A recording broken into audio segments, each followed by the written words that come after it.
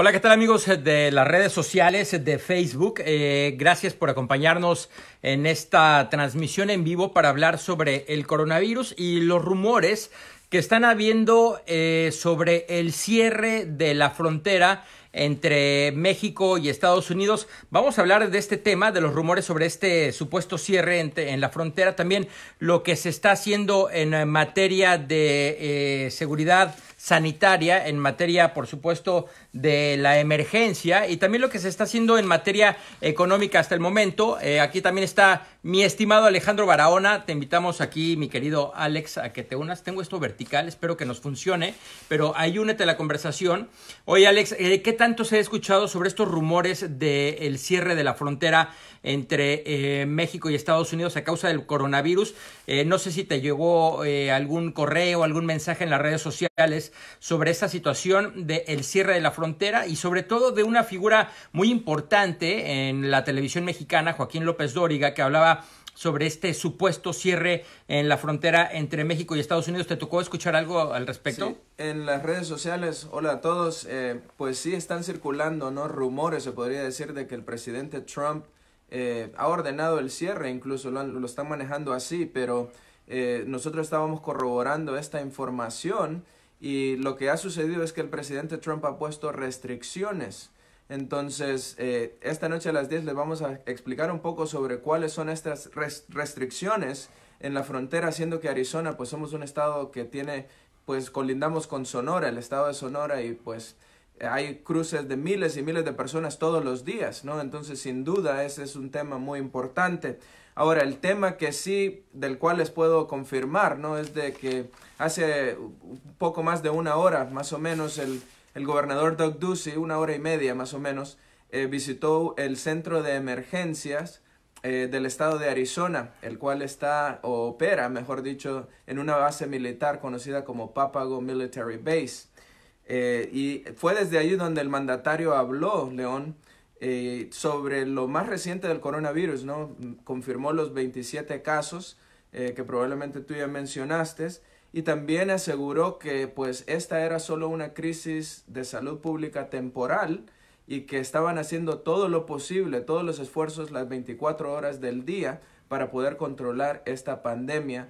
También aseguró que ya están trabajando para eh, un plan económico para aquellos que se están viendo afectados por el cierre ¿no? de, de los negocios como bares, restaurantes, muchos de ellos ya no están trabajando. Oye, Alex, en muchos temas, por supuesto, importantes, tocas eh, uno fundamental que es el tema económico, los estímulos económicos. Ustedes seguramente han escuchado hablar de este cheque de mil dólares que les podría llegar en caso de que se apruebe en el Congreso. Eh, vamos a hablar de este tema, vamos a hablar de la emergencia. Eh, gracias por unirse a esta conversación, Lucía Ramos, también a Mariana Ochoa Padilla. Dice, hola, ¿qué va a pasar con los permisos de visa de turista? Se tienen que entregar. Yo estoy viendo las noticias, no han dicho nada, ¿qué está pasando? Marilyn Bonilla también dice saludos desde Tucson, ¿qué han dicho sobre el cierre eh, de las escuelas en las redes sociales? Bueno, les vamos a hablar poco a poco. Alex, hablando del cierre de la frontera, tenemos el comunicado eh, que nos envió eh, Customs and Border Protection, el Departamento de Aduanas y Protección Fronteriza, que dice Arizona ports of entry are fully operational and rumors of any being closed at this time due to COVID-19 are false. Quiere decir que todos los puertos de entrada, según CBP, están funcionando al 100% y este cierre, según el comunicado que tengo aquí en mis manos, es solo un rumor, es decir, no hay un cierre en la frontera, Alejandro, eso lo estamos viendo. Y también, si quieren eh, ver más información, no sé si eh, va a aparecer en pantalla esta página del DHS, eh, no sé si les va a aparecer al revés, dhs.gov, diagonal coronavirus, DHS gov diagonal coronavirus. Aquí pueden encontrar información eh, real sobre el supuesto, eh, que es eh, un, solo un supuesto, es falso, el cierre de la frontera. bueno, se lo repito en caso de que se vea al revés, dhs, dhs gov, B diagonal coronavirus. Esto eh, es el comunicado que nos acaban de enviar de manera oficial. No hay un cierre eh, de fronteras en este momento a causa del coronavirus. Gracias por unirse a la conversación. Y también otro tema importante que queremos hablar, mi querido Alejandro, es este plan de estímulo económico eh, que ha hablado el presidente Donald Trump sobre los mil dólares que les podrían llegar a su casa, porque lo que se está viendo después de la salud eh, creo que a lo que más eh, les interesa a los estadounidenses es hablar de la economía, cómo nos estamos viendo afectados en este momento con el cierre eh, de bares, restaurantes, personas indocumentadas también que trabajan o que ganan dinero día a día de las propinas. estos cheques se habla de que podrían llegar en abril y mayo cheques por mil dólares. Aún no se determina eh, la cantidad exacta. También aún no se aprueba este plan de enviar los mil dólares a cada una de las familias. Parece que se podría aprobar. Y también este, esta inyección, este estímulo económico a las líneas, líneas aéreas para que no se vayan a la bancarrota y también a los pequeños negocios. Es decir, podría pasar eh, de que un negocio le den este estímulo económico y ese dueño de negocio o empleador ayude a sus empleados sin importar su condición migratoria. Eso es hasta ahora lo que se sabe. Eh, podría aprobarse este, este plan eh, la semana que viene eh, nosotros, por supuesto, los vamos a mantener al tanto. Y también lo que está sucediendo, Alejandro, eh, son 28, están informando que son 28 casos por coronavirus hasta el momento. Uno más se confirma en Coconino, eso es lo más reciente. Y, por supuesto, hablar también de la emergencia que se declaró en Phoenix, en Tucson, en Flagstaff, en Bacay, en el Miraje. Esto quiere decir eh, que estos planes de emergencia no van a cerrar servicios como la policía, los bomberos, el agua, la basura todos estos servicios van a seguir funcionando y por supuesto eh, lo que eh, se va a cerrar es eh, bares, restaurantes, lo que están pidiendo es que sí acudan a los restaurantes pero solo a recoger su comida para tratar de que no se muera, por supuesto, los negocios y tratar de estimular, pero la gente lo que es una realidad es que no quiere gastar. De hecho, León, Dora Elsa hace la pregunta, sí dice, porque si no trabajamos, ¿cómo pagaremos la renta de nuestros carros? el seguro del auto y otras cuentas, ¿no? Posiblemente incluso el agua, la luz. Y es precisamente ese el tema. Eh, en estos momentos yo envié algunas preguntas a un economista local y nos va a hablar justamente de, estas, de estos temas, ¿no? ¿Cómo le voy a hacer en esto? ¿Qué puedo hacer, no? Yo si no puedo pagar mi, mi, el préstamo de mi casa, ¿no? Ah, tu recibo de luz. Correcto. ¿Qué te dijeron, Alejandro? Bueno, en este momento él me dice que sí hay derechos y de hecho muchas compañías eh, pues ofrecen eh, por, por causa de emergencias como la que estamos viviendo, una emergencia de, de salud pública, una pandemia, eh, hay planes para, por decir, detener, ¿no? O poner más al, adelante los pagos de... posponerlos. Posponerlos, esa es la palabra, gracias. Sí, posponerlos por uno o dos meses, siendo y considerando, y esperemos que esto pues sea algo temporal como se está ¿verdad? Esperando hasta el momento, ¿no? Oye, eh, dicen si las iglesias se tienen que cerrar por ley. Claro, por supuesto, esa es la recomendación de las autoridades, que cualquier lugar que tenga más de 10 personas, esa es la, de, la recomendación a nivel nacional, que cualquier lugar que tenga más de 10 personas se mantenga cerrado, se eh, opte por no hacer este tipo de reuniones. Una cosa que se está recomendando, y también Alejandro es importante decirlo, ustedes, por ejemplo, si tienen un pago con la tarjeta de crédito, si tienen que pagar el coche, si tienen que pagarle al banco, lo que pueden hacer en este momento es llamar al número de servicio al cliente y decirle, eh, oiga, yo no puedo pagar este mes mi tarjeta de crédito. Ustedes tienen un programa para poderme ayudar y prácticamente todas las instituciones financieras, las tarjetas de crédito, las financieras si tienen el préstamo en su coche, les pueden, como decía Alejandro Barahona, aplazar. No les van a perdonar el pago, pero sí les pueden dar una prórroga. Es decir, si su plan eh, de pagos terminaba en 2022, puede terminar en 2023 22 más dos meses más y eh, eh, van a tener que pagar el dinero, pero sí existen estos programas, así que es importante que llamen desde ahora a los lugares en donde tienen eh, sus préstamos para que les pidan una prórroga mientras pasan estos momentos de incertidumbre. ¿Qué te parece si vemos rápidamente? Hay muchísimos mensajes entrando. ¿Quiénes son elegibles para estos cheques? Es buena pregunta. Berenice, por supuesto, el gobierno sabe cuánto ganas, eh, cuántos dependientes económicos tienes. Todo este plan se va a delinear en los próximos días. No podríamos darte hasta el momento a ciencia cierta o información imprecisa. Lo que sí te podemos decir es que este plan económico de estímulo está avanzando y no va a ser antes de esta semana, pero sí la semana que viene cuando se podría aprobar. A los indocumentados, ¿quiénes les va a ayudar? Marco, es lo que te decíamos, los empleadores, en caso de que tengan eh, este estímulo económico, es probable que estos mismos eh, dueños de negocios traten de ayudar a sus empleados, eh, pero lo que sí les podemos decir es que estos cheques, en caso de que se envíen de manera directa, no le llegarían a personas indocumentadas, reiteramos, no les llegarían a todos ellos. ¿Cómo pagaremos renta de carro, aseguranza? Llamen eh, a la institución en donde tienen sus préstamos para que les den una prórroga. ¿Qué va a pasar con los emigrantes? Ellos también tienen que tener la ayuda, ya lo contestamos, eh, no nos deberían de cobrar renta ni biles, eh, vamos en este mismo sentido. Gracias a Tiana Orellana, las iglesias ya contestamos que la recomendación es que no se realicen las ceremonias o servicios. ¿Cómo harán para todos los que tienen cuenta, biles, casas? Estoy de acuerdo con Lucía Ramos, nadie dará cuarentena por esos pagos.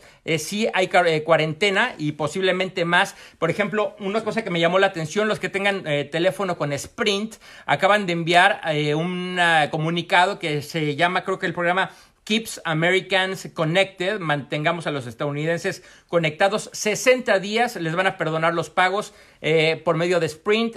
Marilyn, ya cerraron las iglesias hasta el 6 de abril, Walmart y Fry cerrarán. No hay información hasta el momento de cierre eh, de supermercados. Les podemos decir también, Alejandro, eh, que hay un programa para personas de la tercera edad que son las más vulnerables para que estos supermercados, Bashas, Food City, AJ's, eh, de 5 a 6 de la mañana, las personas de la tercera edad puedan acudir a hacer sus compras primero que los demás, porque son los más vulnerables, porque son en este momento también quienes se podrían estar expuestos de manera más compleja al coronavirus coronavirus, les están dando estas facilidades en la mayoría de los supermercados. La primera hora se está eh, dando para todos ellos. Eh, vamos a ver qué más dice por acá, Alex. ¿Me ayudas con los comentarios? Bueno, aquí dice Lisette Martínez, dice, yo trabajo en un hotel, mi pregunta es si los hoteles también tienen que cerrar.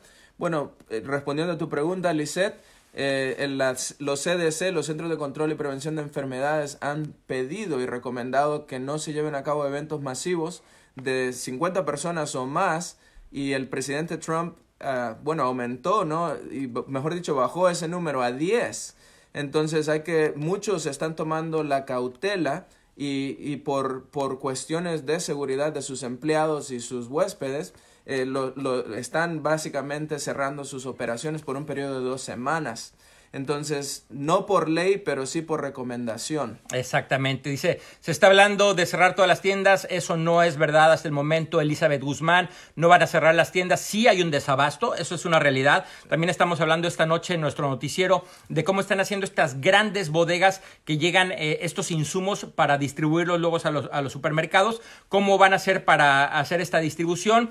Esto afecta en los créditos de todo el no perdonar los pagos. Eh, Charlotte Sardín, eh, te puedo decir de primera primera mano eh, que esta eh, situación de hacer una prórroga no afecta en tu historial de crédito ni tu score de crédito. Es decir, si tienes 700 y haces una prórroga o pides que se posponga por un mes más, esto no va a afectar tu historial de crédito ni tu score eh, tampoco. Johan Luna, eh, dejen de asustar a la gente, el único virus que yo miro en las calles es tanta gente viviendo en las calles, dice Johan Luna. No es que queramos asustar, eh, al contrario, creo que las redes sociales están cumpliendo un papel, por un lado, de informar a la gente y por otro lado, de desinformar y generar temor y desinformación. Tratamos de aquí en Univision Arizona darles la información de manera oficial eh, que tenemos de primera mano después de que la hemos corroborado. No estamos tratando de asustar a nadie, sí, de generar conciencia social y me parece, Johan, que este es el momento de generar precisamente eso, conciencia en preocuparnos por el prójimo y eh, tratar de ayudarnos entre todos. Eh, ¿Quién más? dice Jorge Moreno. Gracias a ti. Saben si a la pareja que están divorciados, Norma, te decimos que se va a delimitar en los próximos días este plan de estímulo económico. ¿Qué pasa con el seguro de auto? Seguimos en la misma dirección. Eh, trabajo en el aeropuerto. Han dicho, no han dicho nada. ya están cerrados los hoteles, no el mío, dice Lizeth Martínez. Ojalá que el gobierno ayude a todos los legales y no legales, todos necesitamos ayuda. Sin duda, de alguna manera, como te digo, estas personas que no tienen documentos y que trabajan para algún restaurante o bar, de alguna manera sus si reciben estos estímulos económicos, podrían brindarles esta ayuda. Restaurante de China no paga, dice Rosy García. Te pedimos que nos envíes un eh, mensaje a Univision Arizona para eh, hablarnos un poco más a fondo de este tema. Eh, los buses locales siguen operando. hablamos de que la emergencia, Alex, es cierran bares, restaurantes, estos lugares que provoquen aglomeraciones o multitudes, pero los servicios fundamentales, policía, bomberos, agua, basura, siguen abiertos. Oye, Alex, has estado siguiendo también las conferencias del gobernador Doug Ducey que prácticamente han sucedido todos los días cómo las están realizando. Eso me llama mucho la atención para que sepa nuestra audiencia cómo es que eh, se están dando estas conferencias. Ustedes, nosotros como reporteros tenemos que ir al lugar. ¿Cómo, cómo están sucediendo? Sí, eh, un punto muy importante, León. Eh, nosotros también como reporteros nos estamos viendo afectados y la respuesta a tu pregunta es que pues yo desde aquí, desde la estación, remotamente, a través de la internet, estoy asistiendo a las conferencias, se podría decir por internet o virtualmente, eh, y así es como estamos nosotros informándoles de primera mano, como tú decías, pero eh, tenemos la opción de ir, ¿verdad?, en persona, pero se nos ha aconsejado y de hecho Univision, eh, por seguridad a sus empleados y también a todos en la comunidad, nos han pedido que evitemos el, el hacer entrevistas en persona como lo, lo solemos hacer y es por eso que las conferencias las estamos eh, básicamente viendo en línea. Así se me, muy parecido a como estamos en este momento comunicándonos con ustedes.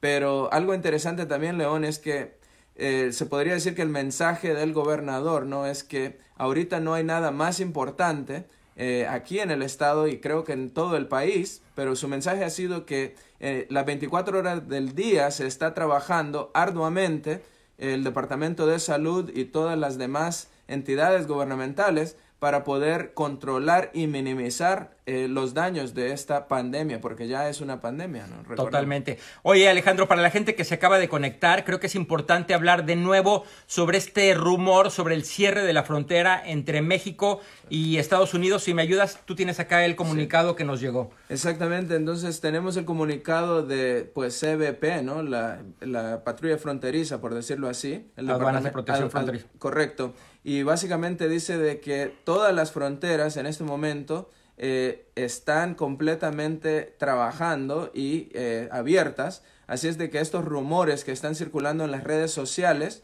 eh, de que están cerradas las fronteras, específicamente la frontera sur con México, esos son rumores falsos. Entonces aquí, como tú mostrabas hace algunos momentos, aquí pueden ver la dirección dhs.gov diagonal coronavirus. Entonces ahí está la información. No sé si al tener la pantalla volteada también se va a ver al revés eh, la dirección, pero bueno, se lo repetimos, dhs.gov diagonal coronavirus, dhgov diagonal coronavirus para que estén informados sobre eh, los servicios que continúan sucediendo. Y hay que decir también eh, que eh, lo que sí está cerrado en este momento son los consulados. Es decir, si tenían una visa programada o una cita para obtener una visa en los consulados de sus ciudades o en la embajada, esto está totalmente cerrado. Sí están cerrados los servicios consulares, la visa, el consulado de México en Phoenix también ha cerrado, salvo ciertas circunstancias. Y también decir que las citas de inmigración, es decir, si ustedes tienen una cita en inmigración. Estas, eh, las que se hacen de manera... Eh, eh, en grupo. En grupo, correcto. se han suspendido hasta el próximo mes de abril. Hemos estado informando de este tema. Sí se mantienen las que son urgentes, las que son en persona. Esas continúan vigentes. Marco Pérez, gracias a ti, Marco. Gracias, Ana Capelo. ya me descansaron. ¿Dónde puedo aplicar por desempleo? Consulta en la página de eh, Arizona, del gobierno de Arizona. Vamos a estar hablando esta noche más a fondo sobre este tema. Eh, gracias, eh, Sandra Duarte. Rancho Market de 6 a 7 para las personas de la tercera edad. Gracias, Sandra Duarte. Ranch Market de 6 a 7 de la mañana para personas de la tercera edad. ¿Qué pasará con los vuelos a México? Eh, siguen operando los aeropuertos de una manera eh, distinta. Vemos pocas personas, la gente está decidiendo eh, no eh, tomar avión, no tomar estos lugares en donde hay mucha gente, pero no hay un anuncio hasta el momento de que se hayan suspendido los vuelos. Sí hay restricciones, por ejemplo, lo que sí está cerrado es la frontera con Canadá. Eso sí es una restricción que se ha dado hasta el momento, no así. Continúa abierta la frontera entre México y Estados Unidos. Lucía Ramos. Saludos, gracias Dora Elsa.